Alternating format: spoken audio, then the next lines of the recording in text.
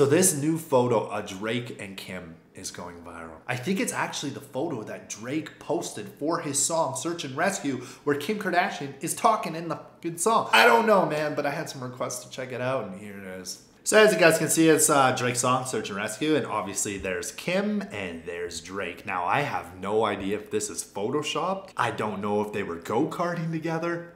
I don't know where the this photo came from. But at the moment, tons of people are posting it on Reddit and Twitter. I personally don't even think I've ever seen this. Uh, the only photos I've really seen Drake with the Kardashian is Kris Jenner. I, I've never seen this. So, uh, like I said, it might be Photoshop. Maybe Drake got someone to Photoshop it just for the song, or maybe they're enjoying a go karting date. Uh, I don't know. Like, does Drake like Kim? Like, he wants to get to know her? Is he trying to just get under Kanye's skin? But anyways, there you guys go. Subscribe if you guys are new and want to stay up to date. Check out the socials, baby. Links down below and deuces.